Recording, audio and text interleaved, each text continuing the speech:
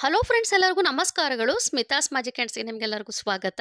ನೋಡಿ, ಇವತ್ತು ನಾನು ನಿಮಗೆ ಸಂಕಷ್ಟ ಚತುರ್ಥಿಯ ಪೂಜೆಯ ಒಂದು ಸಮಯವನ್ನು ತಿಳಿಸ್ಕೊಡ್ತಾ ಇದ್ದೇನೆ. ಪ್ರತಿ ತಿಂಗಳು ಬರುವಂಥ ಸಂಕಷ್ಟದ ಚತುರ್ಥಿಯಲ್ಲಿ ಒಂದು ವಿಶೇಷವಾದ ಹೆಸರಿನೊಂದಿಗೆ ಈ ಒಂದು ಚತುರ್ಥಿಯನ್ನು ನಾವು ಆಚರಣೆ ಮಾಡ್ತೇವೆ. ಈ ತಿಂಗಳಿನಲ್ಲಿ ಬಂದಿರುವಂಥ ಸಂಕಷ್ಟ ಚತುರ್ಥಿಯನ್ನು ನಾವು ಬಹುಳ ಸಂಕಷ್ಟ ಚತುರ್ಥಿ ಅಂತೇಳಿ ಆಚರಣೆ ಮಾಡ್ತೇವೆ. ಈ ಬಹುಳ ಸಂಕಷ್ಟ ಚತುರ್ಥಿ ಹಾಗೆ ಮತ್ತೊಂದು ಹೆಸರು ಅಂತ ಬಂದಾಗ ಏರಂಬ ಮಹಾಗಣಪತಿ ಸಂಕಷ್ಟ ಚತುರ್ಥಿ ಅಂತೇಳಿ ಈ ಹೆಸರಿನಲ್ಲಿ ನಾವು ಈ ಒಂದು ವಿಶೇಷವಾಗಿ ಪೂಜೆಯನ್ನು ಮಾಡ್ಕೊಳ್ತೇವೆ. ಹಾಗೆಯೇ ಈ ಒಂದು ಸಂಕಷ್ಟ ಚತುರ್ಥಿ ನಮಗೆ ಪ್ರಾರಂಭವಾಗುವಂಥದ್ದು ಶ್ರಾವಣ ಮಾಸ ಕೃಷ್ಣ ಪಕ್ಷ ಚತುರ್ಥಿಯಲ್ಲಿ. ಸೆಪ್ಟೆಂಬರ್ ಎರಡನೆಯ ತಾರೀಕು ರಾತ್ರಿ ಎಂಟು ಗಂಟೆ ನಲವತ್ತ ಒಂಬತ್ತು ನಿಮಿಷಕ್ಕೆ ಪ್ರಾರಂಭವಾದರೆ ನಮಗೆ ನಂತರದಲ್ಲಿ ಅಂತ ಅಂದರೆ ಭಾನುವಾರ ಸಂಜೆ ಆರು ಗಂಟೆ ಇಪ್ಪತ್ತ ನಾಲ್ಕು ನಿಮಿಷಕ್ಕೆ ಕೊನೆಗೊಳ್ಳುತ್ತದೆ.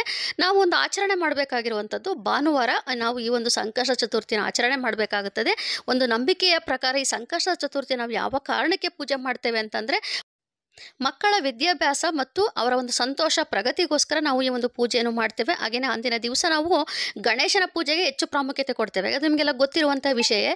ಜೊತೆಯಲ್ಲಿ ಬಹುಳ ಸಂಕಷ್ಟದ ಚತುರ್ಥಿ ಎಂದು ನಾವು ಹಸುಗಳಿಗೆ ಹೆಚ್ಚಾಗಿ ಪೂಜೆ ಮಾಡೋದ್ರಿಂದ ನಮ್ಮ ಸಂಪತ್ತು ಕೂಡ ಪ್ರಾಪ್ತಿಯಾಗುತ್ತದೆ ಅನ್ನೋ ಒಂದು ನಂಬಿಕೆ ಕೂಡ ಇದೆ. ಸೊ, ಎಲ್ಲರೂ ಕೂಡ ಆಚರಣೆ ಮಾಡಿ ಹಾಗೆಯೇ ಇದು ಒಂದು ಶ್ರಾವಣ ಮಾಸ ಕೂಡ ಆಗಿರೋದ್ರಿಂದ ಹೊಸದಾಗಿ ಪ್ರಾರಂಭ ಮಾಡಬೇಕು ಅಂತ ಅಂದ್ಕೊಂಡಿದ್ರೆ ಮಾಡಿದರೂ ಕೂಡ ತುಂಬಾ ನಿಮಗೆ ಒಂದು ಶ್ರೇಯಸ್ಸು ಹೆಚ್ಚಾಗ್ತಾ ಹೋಗುತ್ತದೆ.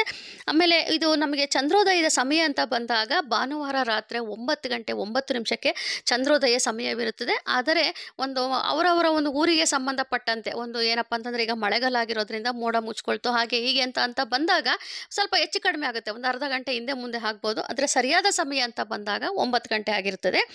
ಆ ನಂತರದಲ್ಲಿ ನಾನು ನಿಮಗೆ ಇದರ ಪೂಜಾ ವಿಧಾನವನ್ನು ಕೂಡ ಒಂದು ಮುಂದಿನ ವಿಡಿಯೋದಲ್ಲಿ ತಿಳಿಸ್ಕೊಡ್ತಾ ಹೋಗ್ತೇನೆ. ಇವತ್ತು ನಾನು ನಿಮಗೆ ಅದರ ಮಹತ್ವವನ್ನು ಮಾತ್ರ ತಿಳಿಸಿಕೊಟ್ಟಿದ್ದೇನೆ. ಹಾಗೆ ನಮಗೆ ಇನ್ನೇನು ಕೃಷ್ಣ ಜಯಂತಿಯು ಕೂಡ ಬರ್ತಾ ಇದೆ. ಈಗ ನಮಗೆ ರಾಘವೇಂದ್ರ ಸ್ವಾಮಿಯ ಆರಾಧನೆ ನಡೀತಾ ಇದೆ.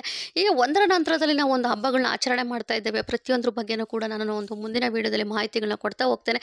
ಸೊ ಇವತ್ತಿನ ಒಂದು ವಿಡಿಯೋವನ್ನು ದಯವಿಟ್ಟು ಆದಷ್ಟು ಶೇರ್ ಮಾಡಿ ಲೈಕ್ ಮಾಡಿ ಕಮೆಂಟ್ ಮಾಡಿ ಹಾಗೆಯೇ ಸಬ್ಸ್ಕ್ರೈಬ್ ಮಾಡ್ಕೊಳ್ಳಿ. Thank you